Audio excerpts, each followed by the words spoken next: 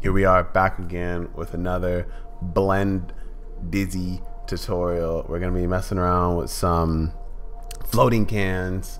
Uh, this kind of technique that I'm gonna be showing is just gonna be uh, creating a simple background for some type for a graphic design piece. I'll have to throw that in later, but this will be really short and sweet. You could do this probably like a, a morning before your job, you know, get in a quick finish it, then uh, make a post little type layout and then drop it on Instagram, whatever you want to do.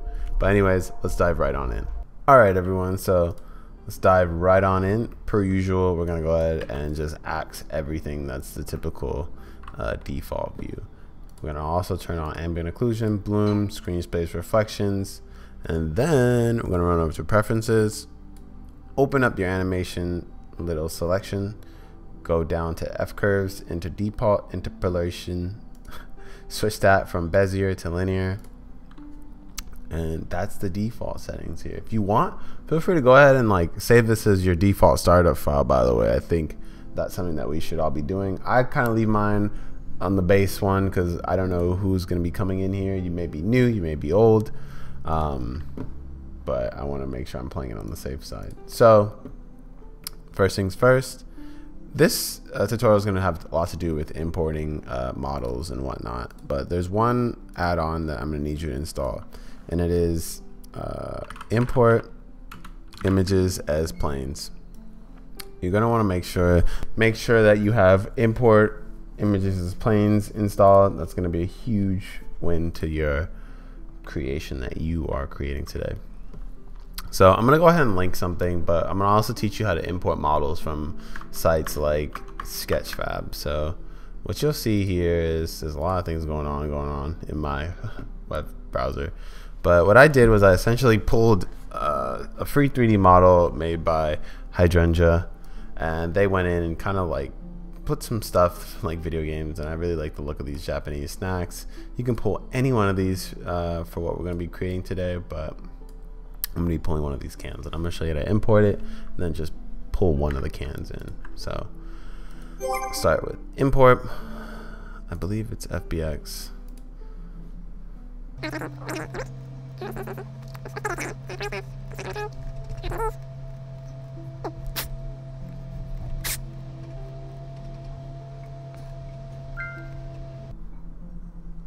Okay, tapping back in. Had to make sure I figured that one out. There's an all OBJ file that we're going to be pulling. So you're going to import an OBJ. Go to Blender, wherever you keep your your sources of all things great. All OBJ file. And it's going to load a little bit. It'll take a little bit of time. And you'll see here when you do material preview, you can see that the textures are here. It's kind of cool, huh? You can see all these little like neat food. We got some uh, not Spirited Away. I'm blanking out on which Miyazaki film that is. But anyways, what I want to do is go ahead and you're going to want to select all of the things that you're not going to use here. So let's fast forward.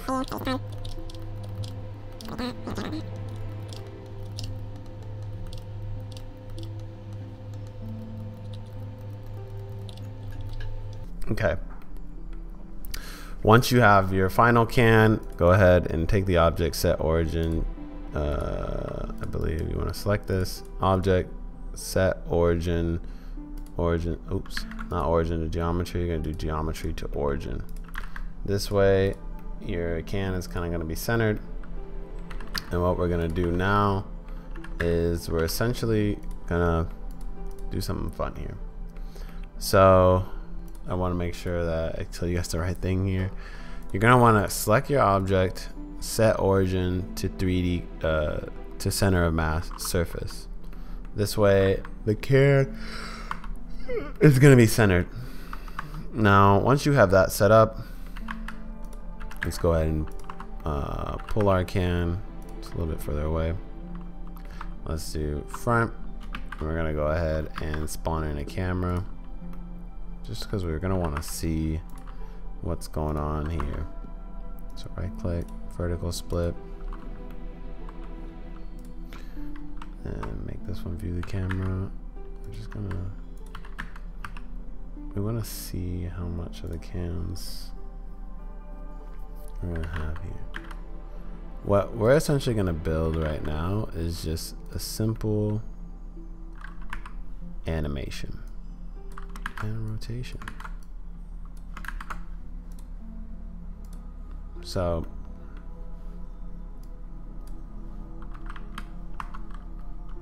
duplicate the cam. I have two cans here. Then what we're gonna do is we're gonna go ahead and just rotate it a little bit on the y-axis, just a subtle amount, maybe 20 degrees. And one of them will be like negative 20, just so it's a bit of the opposite.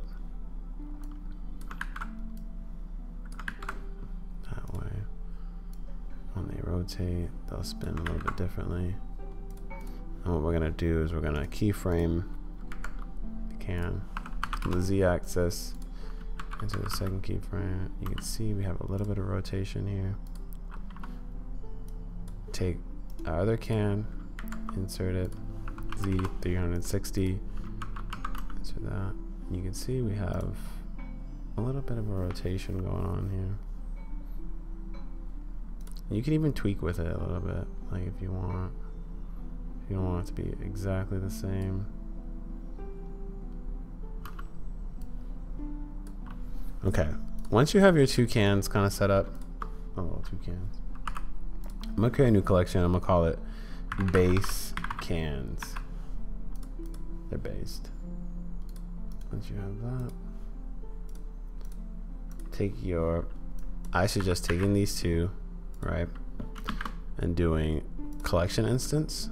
You're gonna pull in uh,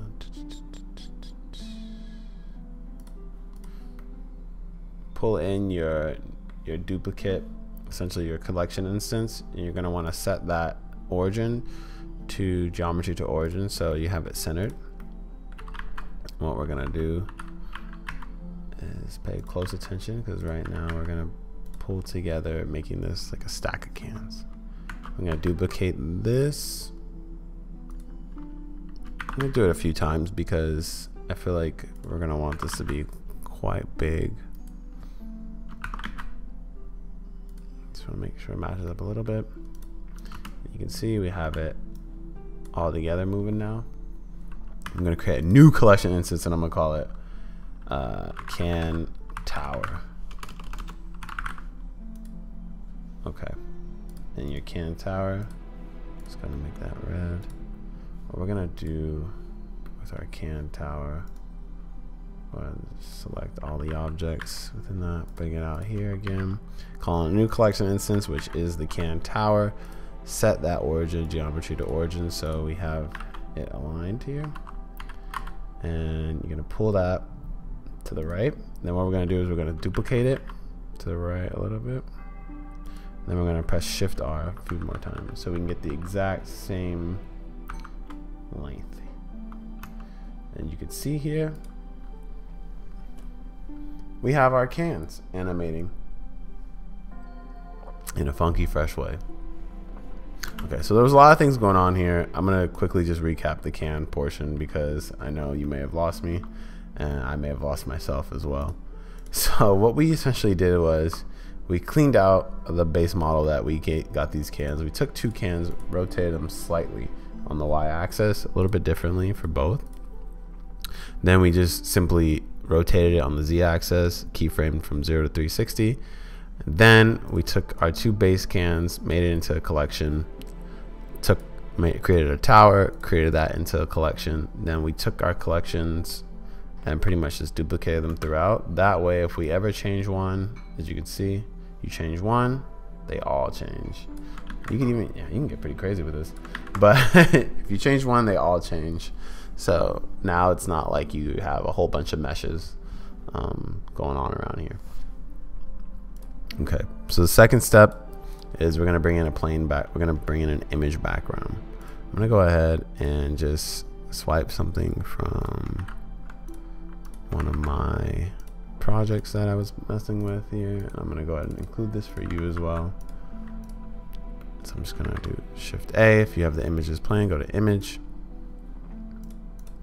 go down here to where you have your stuff. I'm gonna link this for you. I'm not gonna leave you hanging.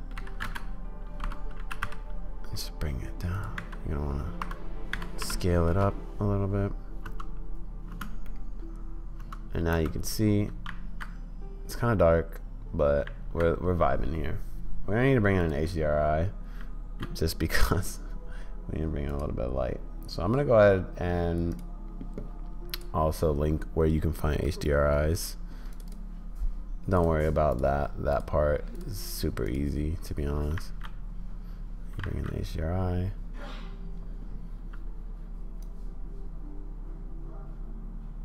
Things are looking a little bit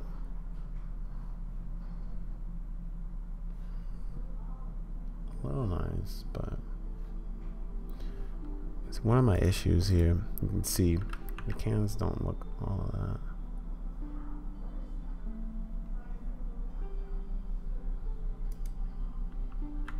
Let's pull it over a little bit.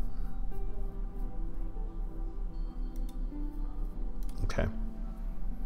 So what you're gonna do now is we're gonna pixelate this. So the way we pixelate it is we go to compositing. And you're gonna bring in scale two of those bad boys and then a pixelate. And what's gonna happen is your scale is gonna go in here, you pixelate, then you're gonna have another scale. So let's bring in a viewer as well. So reroute, viewer, connect that. Let's just quickly save our document because you know the vibes. Tutorial, pixelate. Oh, render the image. You can see we have something. So what you can do here is pretty much set this to like 0.25 and then you're gonna bring this up by like four you can see at this point we have it looking quite pixelated it is looking a bit dark so what you can do uh, depending on if you chose a pretty dark HDRI, you can turn up the contrast. Let me just render it one more time. You can see you get a flavorful pixelated background. And that's pretty much it.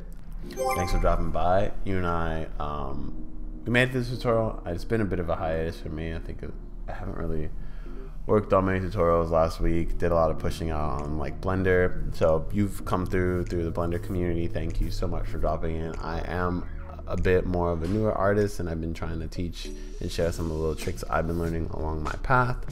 But if you're also a friend of mine thank you for coming by and supporting me. Um, pat yourself on the back. You did a good job and i'll see you around.